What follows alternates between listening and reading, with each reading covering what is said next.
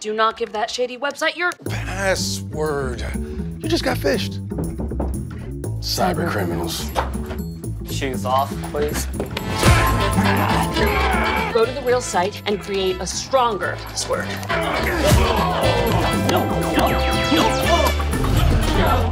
Hit him with the. Multi-factor authentication. Oh man. This is the cinch. We'll take it from here. Visit protectconnect.com to learn more. You see it, let's get it. Amazon wants everyone to protect themselves online with the security PSA. Shout out to Amazon putting out a commercial. We'll check the commercial and check out a quick little uh, news article on it. But let's read this one. A year ago, President Biden held a cybersecurity summit at the White House with several industry leading companies such as Microsoft, Google, Facebook, and Amazon. Anderson Jassy, the CEO, and Schmidt, the Vice President of Security Engineering Chief Security Officer uh, representing Amazon. The ask from the president was for a committee to enhance security posture of the nation. These companies handle most of the internet uh, activities for a wide swath of the United States. Part of that too is state and government. Everybody's moving their assets to the cloud, right? So you expect Amazon to step forward, right? They they're they're 800 pound gorilla in, in that space. So Stephen Schmidt owns the security for Amazon, everything from satellite systems to robots, delivery vehicles, self-driving cars, and AWS boxes with smiley faces. Recently sat down with Schmidt to understand Amazon's cybersecurity contribution, a new public service announcement PSA to protect and connect that launched on August 22. That was yesterday. See, they brought out the big stars. Amazon, Amazon got money to pay them. Multi-factor authentication and training. We know that's the big deal. After the White House Security Summit, two not so surprising conclusions emerged. The need for MFA and training. Amazon responded by providing a free MFA security key to eligible Amazon customers. The company also made free internal security awareness training material available to individuals and businesses worldwide. So yeah, I definitely need to peek at that, right?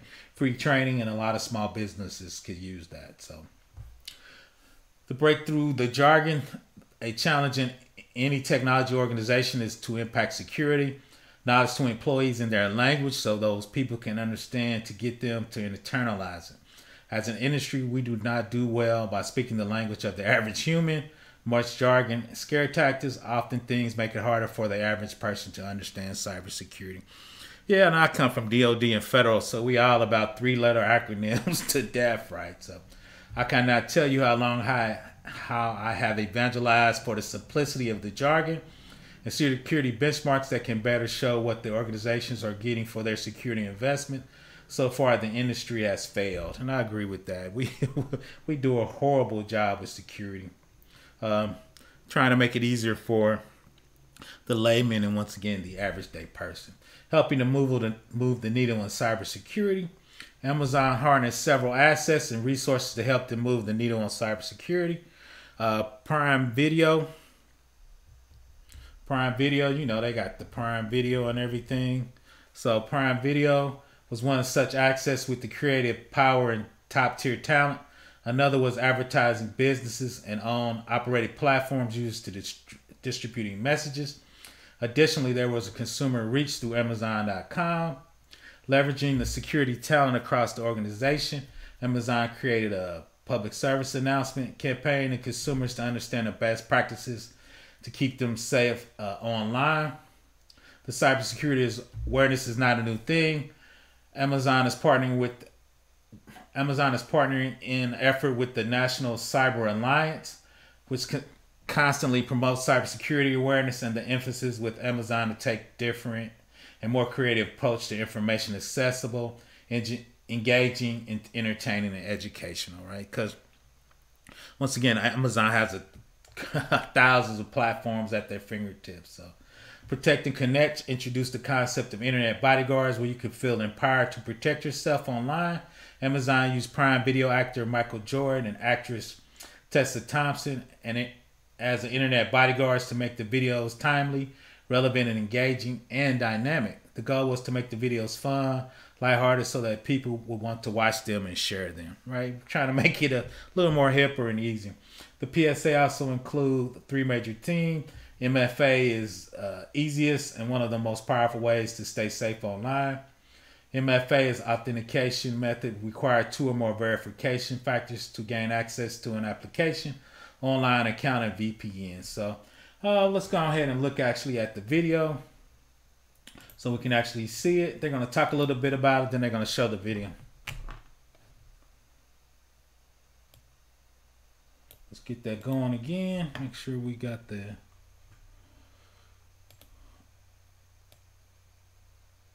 security, namely preventing hacks, not on major companies, but on good folks like Frank Holland and I. Frank is back with more on this new campaign. Frank.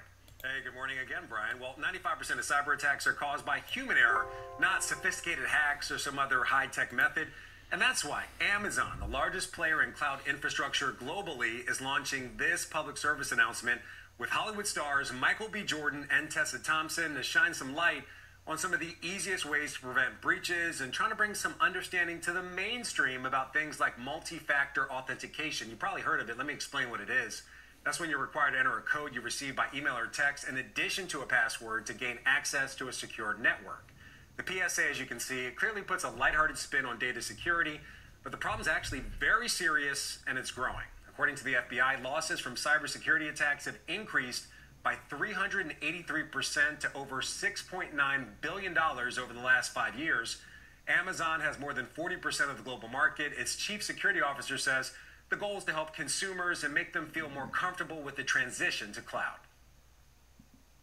Customers feel better about their security when they've got full visibility into what they're doing, which is one of the, the core tenets of operating in the cloud.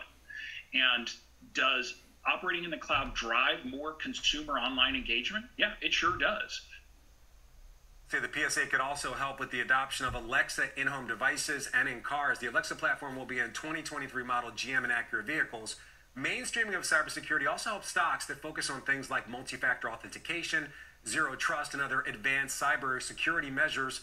And these stocks include Okta, VerifyMe, and Zscaler. Brian, back over to you. Is there anything just smart we can do, just viewers watching or listening right now on the radio, Frank, that they can, quick action that we can take to protect ourselves? Yeah, I mean, absolutely, Brian. I mean, some of the stuff is common sense, but our lives are becoming so hectic and so much more digitally focused. A lot of times we're rushing. I don't know about you, but sometimes I'm just trying to remember my password, much less remember other things. So things like making sure you don't click on phishing emails, um, going on sites and, and, and picking options for multi-factor authentication. Anybody who owns an iPhone, you're familiar with the term the cloud.